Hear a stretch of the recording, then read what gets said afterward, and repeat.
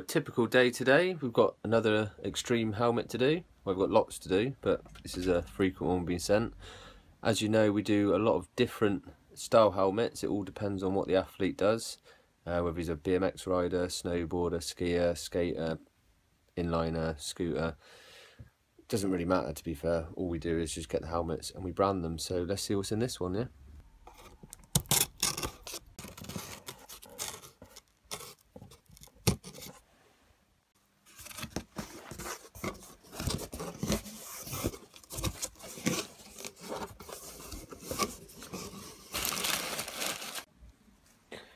Well, looks like we've got a snowboard helmet for the athlete James Macken. I think that's how you pronounce it. Let's get this one done. First stage is to take everything out and strip it back as much as possible so we get a nice finish without ruining any of the interior.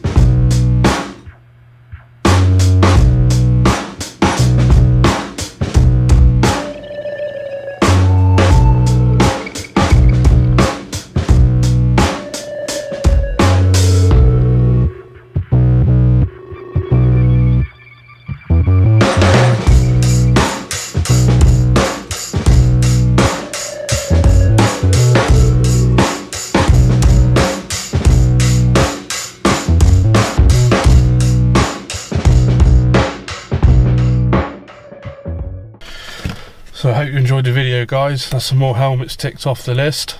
They're all ready to be sent off. So if you like what you're seeing, hit the subscribe button, give us a like. So until next time, stay tuned. Peace.